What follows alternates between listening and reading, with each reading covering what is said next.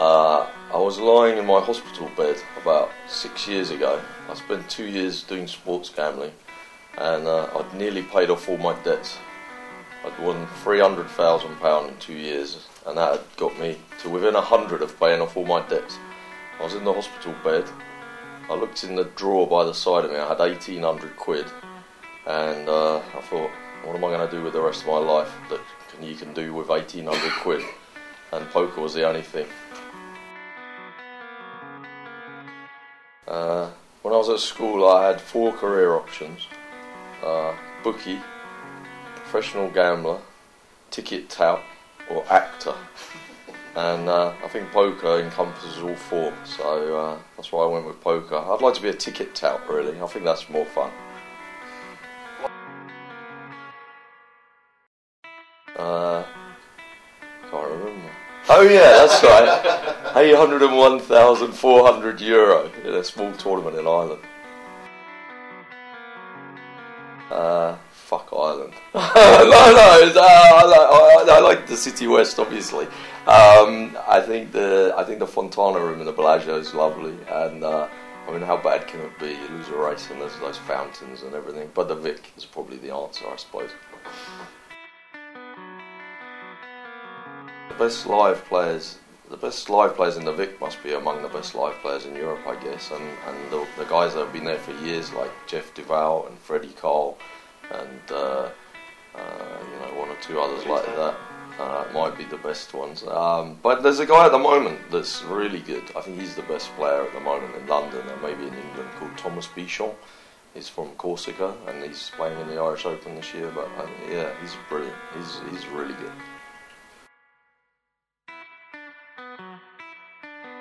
Uh, somebody nipped me. I think I've definitely had a few twenty thousand nips. Um, mostly from people that didn't have a shilling and a couple of them I've given them the money, even though I just thought I had no chance of getting it back. It's a real leak, actually, and I should stop doing it. Um, yeah, I think someone tried to nip me for a hundred grand once. Uh, they tried to get me to put money into Aces Poker. Uh, I didn't put money into that, so I said no then. I should learn to say no more often. Um, yeah, I don't know. Probably a hundred grand.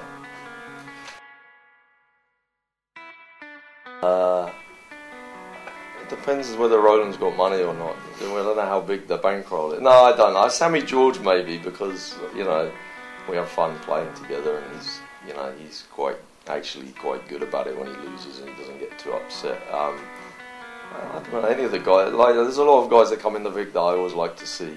They're all my customers. I can't mention their names.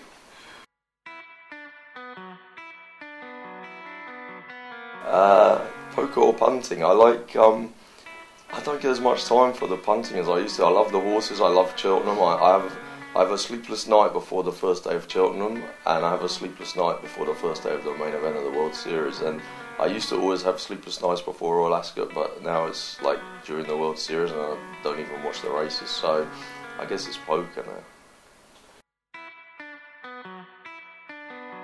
I was barred from all the Grosvenor casinos for four years for blackjack card counting, and uh, uh, it was only that some of the Grosvenor casinos didn't have a very good computer system that I could play poker tournaments at all in England uh, for a while. And I was going in, and they were saying, "Oh, you can't be the same Neil Channing," and I was like, "Yeah, there's been an administrative error." Um, I, I, used to have to play in places like the Rainbow in Birmingham because they, they, they didn't really know about me and stuff. But yeah, I got I managed to get back in thanks to Mr. Willie Tann he uh, he said to me he'd do it for me as a favour, and uh, that's one of the biggest regrets of my life. I love Willie, really. I don't mean that. I, I do love Willie, but you know.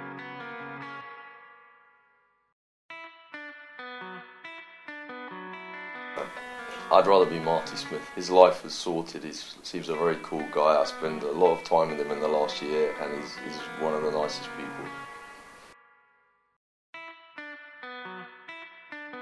Uh, I, I, don't really know either of these two guys. I, I played with Antonius once, and I think because I've played with Patrik's wife Maya, and I've met her a few times, and she's a gorgeous, lovely lady. I have to beat Patrik, I think.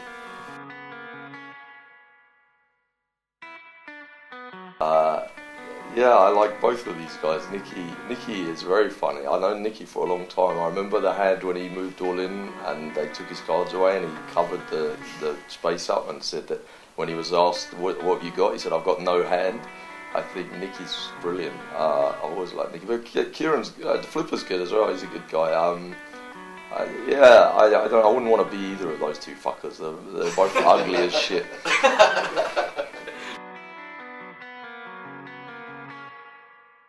I had 36 people where I had a piece of them in last year's main event of the World Series, and nine made the money. That was quite a lot, I guess. I put, I once put, um, I think I put 17 people into one of those GUKPTs once, and uh, I was a bit fucking mad. The first prize was only about 80,000. uh, I don't know. Uh, sometimes when there's a big online festival, people, like, I'd start just putting ridiculous numbers of people into them, and I never get a winner of those.